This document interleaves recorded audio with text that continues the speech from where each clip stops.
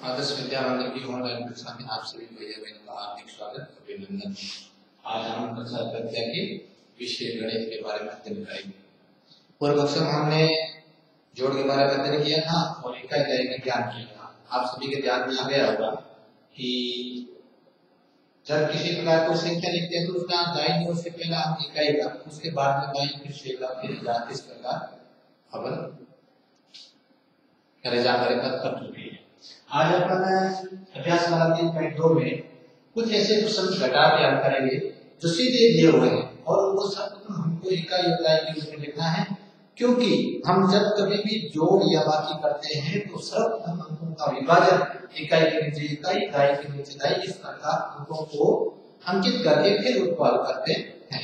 आज भी हम इस प्रकार के क्वेश्चन दिए हुए हैं, जिसको अपन एक कॉलम के रूप में इकाई के नीचे इकाई और दाई के नीचे दाई करके हल करेंगे। जैसे छिहत्तर माइनस अड़सत्तर ये एक अपने को बाकी दी हुई है इसको हल करेंगे तो ये इकाई इस इकाई को इकाई के नीचे इस इकाई को इकाई के नीचे लिखेंगे और इसको इसके नीचे लिखेंगे।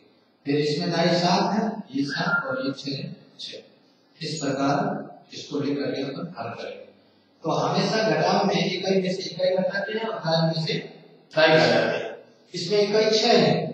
और छह में से अपने को नौ घटाना ये आपको जानकारी होगा कि मेरे पास छह रुपए है बाकी वाला मेरे से नौ रुपए मांग रहा है, मैं नहीं दे सकता। यानी छह में से नौ अपन नहीं घटा सकते। तो उसके पड़ोसी हम सात और सात में से एक यहाँ का रहेंगे उधार रहेंगे, जिसको हासिल के रूप में लेंगे तो सात की जगह छह कितनी रहेगी, और इस एक दाई बराबर, एक दाई बराबर दस इकाई होती है। इसलिए यहाँ से एक अपन ने दिया तो छह में दस दस हो जाएँगे हो जाएँगे सोलह तो सोलह में से नौ जाएँगे कितने रहेंगे सात। और छह में से छह चले जाएँगे इस प्रश्न करेंगे तो उत्तर आपको तो सात प्राप्त होगा।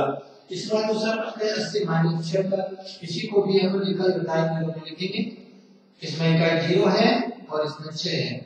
और इसमें दाई आठ और इसमें सात। इस प्रकार इसको लिखेंगे। इसमें भी ज़ीरो में से हमने को छह घटाना है। यानी किसी व्यक्ति के पास कुछ भी नहीं है और दूसरा व्यक्ति उससे छह रुपए माँगता है, वो नहीं दे सकता। तो इसके लिए अपनी प्रोसेस से ये पास वाले से हासिल रूप में अपना उधार लेकर के इसको हल करेंगे। यानी आठ आई है और नौ आई में से अपन एक आई इसको इकाई हासिल दे देंगे, इसे बचेंगे सात और यहाँ हो जाएँगे दस, क्योंकि एक इकाई के बराबर दस इकाई होती है और दस में से अपन छह घटाएँगे रहेगा चार और यहाँ सात में से सात रहेंगे तो पीछे रहेगा शून्य। इसी प्रकार तीसरा प्रश्न है, इसको हल करेंगे। तो इसमें भी इकाई इकाई और दाई के नीचे दाई लिखेंगे इसमें दाई सात है, और इकाई सात है, और इसमें छह है। और इसमें दाई पाँच है, और दूसरे में चार है। इसको हम इस प्रकार हल करेंगे। हल करने के बाद में सात में से छह अपने को कम करने हैं, और सात में से छह अपन कम करेंगे तो पीछे रहेगा एक और यहाँ पाँच में से चार जाएगा रहेगा एक। इस प्रकार अपना उत्तर प्राप्त हुआ। ग्यारह। फिर चौथा प्रश्न है इसमें पच्चीस में से आठ घटाने हैं यानी इकाई और दाई। इकाई दाई इसमें दो है और इसमें इकाई पाँच है। दूसरे अंक केवल इकाई है दाई नहीं है दाई नहीं है तो दाई के स्थान पर अपन शून्य अंकित कर देंगे। और अब अपने को पाँच में से आठ घटाना है। कितने घटाने आठ। और पाँच में से आठ नहीं जाते हैं। यानी किसी को पाँच रुपए है तो दूसरे व्यक्ति को आठ रुपए नहीं दे सकता। इसीलिए अपने पड़ोसियन दो से यानी से एक एक उधार लेंगे के रूप में लेंगे तो हो जाएगा पंद्रह। एक बराबर दस इकाई दस, और पाँच पंद्रह पंद्रह में से आठ शेष रहेगा सात। और एक में से शून्य में चलेगा एक इस प्रकार सत्रह मिलेगा। फिर पांचवा प्रश्न है, इसमें भी इकाई और दाई यानी इसमें इकाई आठ है और दाई भी आठ है। और आगे वाली संख्या में इकाई नौ है और दाई सात है। इसको अपन इस प्रकार हल करेंगे। यानी आठ में से नौ घटाना है। आठ में से नौ नहीं घटाए जा सकते। इसीलिए इसको आठ में से एक से लेंगे यहाँ बचेगी सात दाई और एक यहाँ है दस, इसके साथ हो जाएगा अठारह। अठारह में से दो गए नौ। और सात में से सात जाएगा ज़ीरो। इस प्रकार इन प्रश्नों को पूरा कर सकते हैं। कुछ चार प्रश्न और है, वो भी मैं आपको करवा देता हूँ।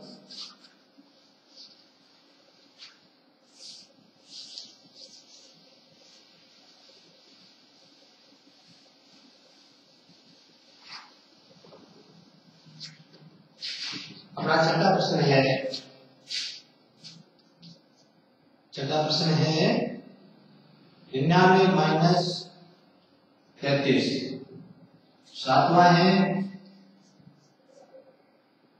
सत्तर माइनस उनचास। और आठवां है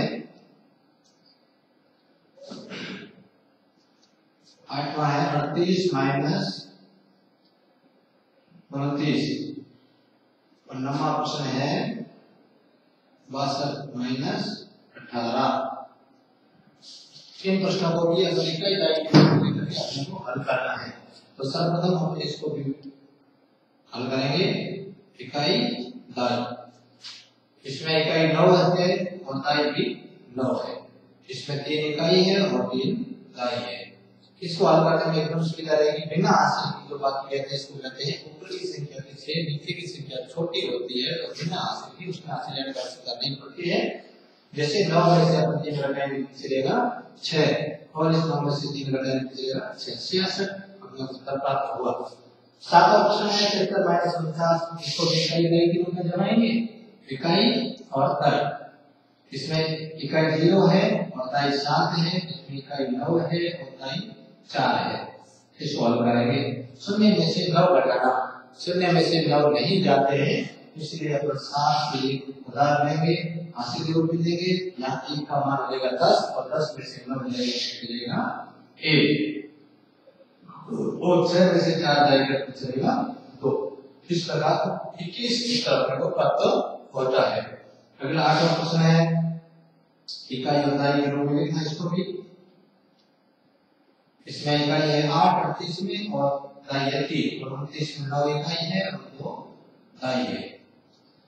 आठ में से नौ घटाना आठ में से नौ नहीं जाते हैं, याद करके ध्यान में है यदि छोटी संख्या में से बड़ी संख्या घटानी होती है तो उसको अपन नहीं घटा सकते।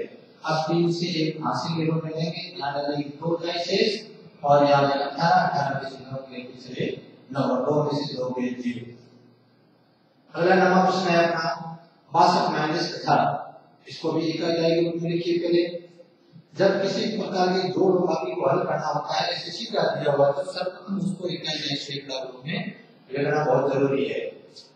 और इसमें बासठ में दो इकाई है, छह इकाई है। अठारह में आठ इकाई है, एक इकाई है।